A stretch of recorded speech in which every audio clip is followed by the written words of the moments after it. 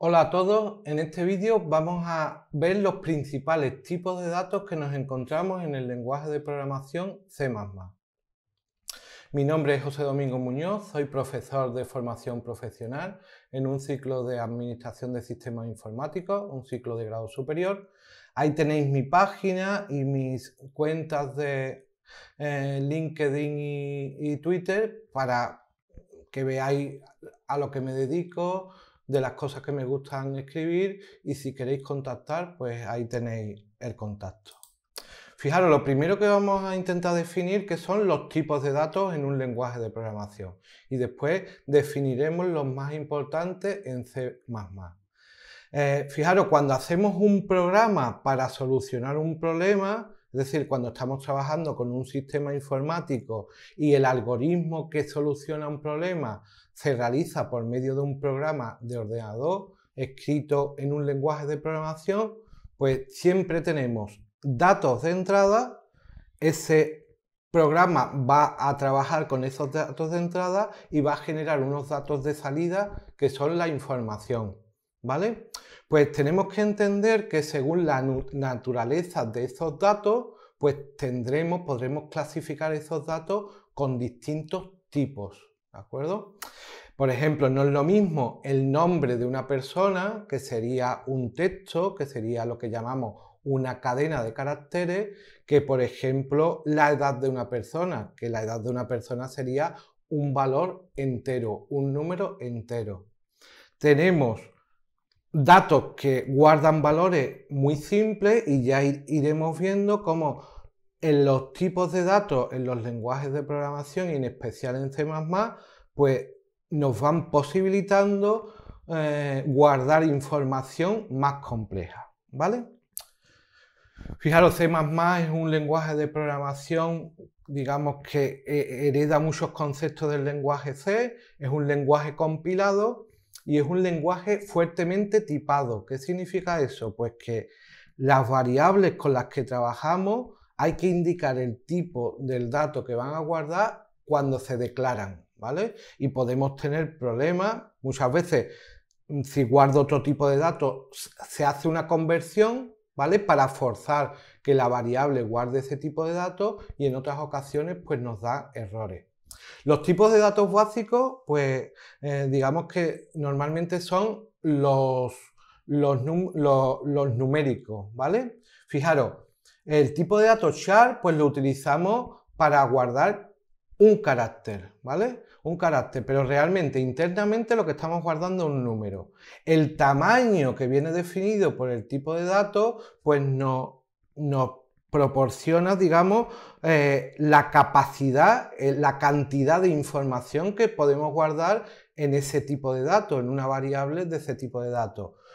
Un char se utiliza un byte, ¿vale? En un byte podemos guardar 256 valores binarios, por lo tanto, digamos, vamos a fijarnos sin signo, pues podemos guardar desde el valor 0 al 255, que corresponden al código ASCII que me permite codificar los caracteres, de, los caracteres que, utilizamos normalmente. Por lo tanto, se utilizan para, para guardar caracteres. Fijaros, después tengo los enteros. Puedo tener enteros cortos o enteros digamos que el modificador short lo que hace es que el tamaño sea menor y en un entero, una variable de tipo entero, se guardan enteros, ¿vale? Claro, como tenemos 4 bytes, pues podemos guardar muchos números. Pero si queremos guardar más cantidad de números, pues utilizamos un entero largo.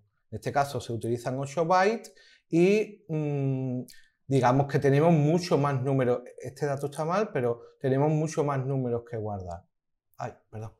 Fijaros, después tenemos el tipo bool. El tipo lógico nos guarda dos posibles valores, verdadero o falso. Y después trabajamos con los números reales.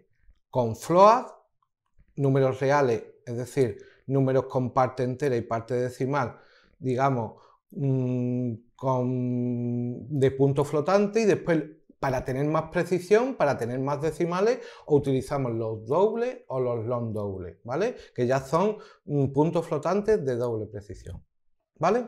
Estos son los tipos de datos simples. Fijaros, podemos utilizar datos enumerados. Los datos enumerados es un mecanismo usado por C++ que nos permite agrupar constantes simbólicas. Fijaros, parece que en esta variable estoy guardando cadenas de caracteres, pero realmente estoy guardando números. Pero en vez de guardar los números, a cada número digamos que le defino una constante. El 1 va a ser lunes, martes, miércoles. Y fijaros, los que sabéis programar en C++, pues puedo recorrerlo Puedo ir desde el lunes hasta el domingo utilizando una variable entera, porque realmente lo que estoy guardando son enteros. Fijaros, después tengo las matrices, los arrays. Los arrays ya es un tipo de dato complejo, en el sentido de que nos permiten guardar conjunto de datos.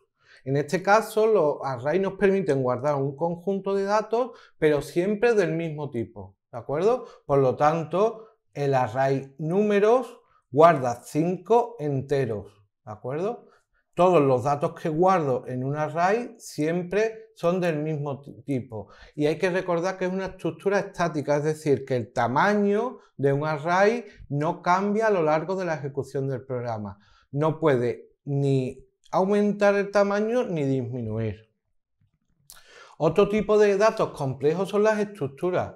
Las estructuras nos permiten guardar un conjunto de datos, pero esos datos pueden ser de distinto tipo. Por ejemplo, aquí hemos puesto la estructura tiempo que tiene tres enteros, ¿vale? Pero podríamos utilizar la estructura persona, que a lo mejor tiene un string para el nombre, una cadena de caracteres para el nombre y un entero para, para, para la edad, por ejemplo, ¿vale? Y después tenemos la programación orientada a objetos, que es la característica más importante en C++. Mm, por ejemplo, las cadenas de caracteres, que es otro tipo que utilizamos normalmente en C++, realmente no es un tipo de datos. El string, que representa una cadena de caracteres, es un, eh, una clase, ¿vale? Una clase el concepto es algo parecido a las estructuras, nos permiten guardar atributos, ¿vale? Nos permiten eh, guardar información, pero además las clases nos permiten ejecutar código. Es decir, cuando yo creo una variable de una clase, a esa variable se le llama objeto, por eso lo de la programación orientada a objetos, pues ese objeto, además de guardar información, puede ejecutar funciones o métodos que trabajan sobre los datos que tienen guardados, ¿vale? Por ejemplo, la clase string cadena, yo guardo una cadena, creo una variable que se llame cadena, guardo una cadena en ella y yo puedo hacer cadena.length y me devuelve el número de caracteres que tiene la cadena, ¿vale? Vamos a ver un ejemplo, fijaros, tengo la clase punto que representa un punto que tiene dos informaciones, dos atributos, la x y la y, y tiene una función mostrar. Yo en el programa principal puedo crear un objeto punto uno de la clase punto, que tendrá un valor x, que tendrá un valor y y que podrá mostrarse por pantalla sus valores. ¿Veis? Habría que seguir trabajando sobre la orientación a objetos, para, pero para que tengáis la idea de el concepto de clase y el concepto de objeto. Hasta aquí el vídeo sobre C++. Espero que te haya gustado. Si quieres seguir profundizando y aprendiendo sobre el lenguaje de programación C++, pincha en el botón y accede al curso en OpenWebinar.